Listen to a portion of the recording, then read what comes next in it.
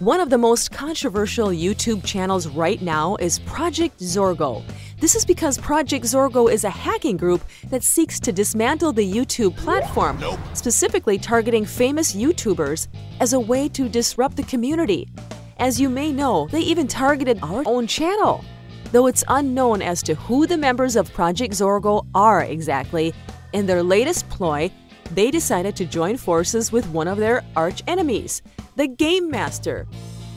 Nobody knows who the Game Master is, but it's been heavily speculated that it could be someone who is active in the YouTube community who is turning on their colleagues.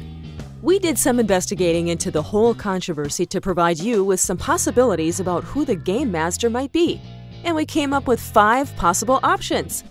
Hit that like button if you want the YouTubers to defeat Project Zorgo. Hello, everybody. I'm Miss Gossip, and if you are new to our channel, please remember to subscribe and put the notifications on so you won't miss any of our cool videos. Number 5. Vy Qwaint As one of the YouTubers who has provided most of the footage of Project Zorgo headquarters, it's definitely possible that Vy Qwaint is behind the Game Master. However, there would still be a lot of explaining to do over the people who also appear in her videos as Project Zorgo employees. Are they paid actors?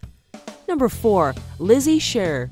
Lizzy Sharer is another prime suspect for the identity of the Game Master because of her association with the group through first-hand experience. For example, Lizzy was the one who found the mysterious thumb drive that led her and Carter to learning more about Project Zorgo, so maybe they're both in on it? Number 3. Carter Sharer.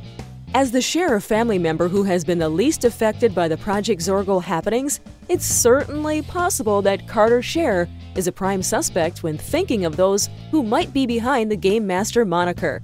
This is one of the most compelling cases, as one of the only things that truly affected Carter was when his computer was hacked by the group, but that could be easily faked.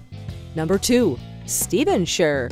It is believed that Stephen Sharer's cunning personality is exactly the type of person the Game Master would be, but these details have not been confirmed. Stephen was also targeted by Project Zorgo recently when they trapped various YouTubers in an escape room in Florida, so it's unlikely that he would also be the person pulling the strings. Number 1. Chad Wild Clay. Some people speculate that the popular YouTuber Chad Wild Clay is the Game Master. They say this is because he is one of the community members that has been targeted by the group the most and has had seemingly constant communication with them. This might not make sense though, as they've also successfully fooled him many times before. But when it comes to Project Zorgo, never say never. And who do you think is hiding behind the Game Master mask? Let us know in the comments below. I'm Miss Gossip. As always, thanks for watching, and don't forget to put a like, subscribe, and share this video with family and friends.